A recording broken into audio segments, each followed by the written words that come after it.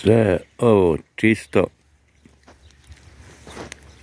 Sto duluma krugu. Nema šta past, evo, samo koze. Samo malo koza. Ništa kroz selo. Parcijela ima.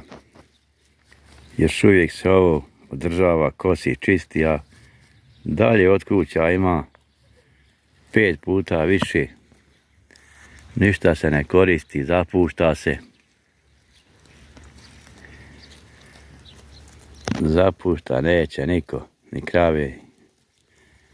Evo na par mjesta se mora naći. Bajvatima. Kozica malo. Devetero kod mene. Sve alski.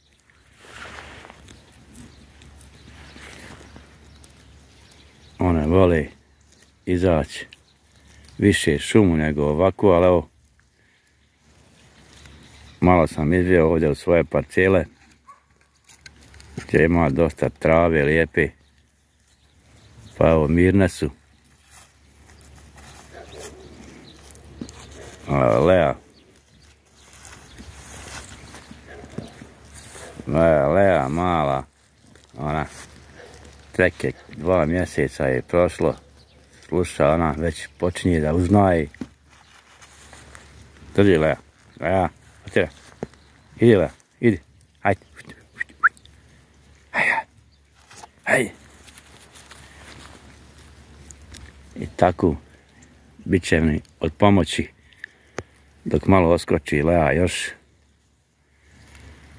Pulini su dobri, ovce, koze. A tamo dalje Tamo dalje je sve zapušteno, sve zapušteno. More se dran koza kako hoćeš.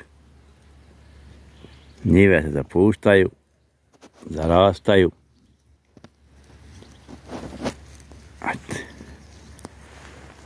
Ovo malo kokuća ovdje se održava.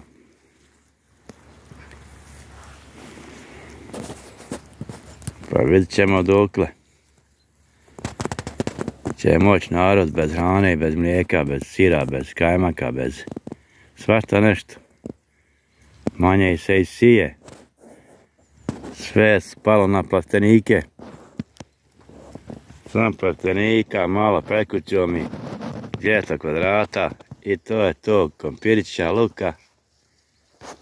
Nema se.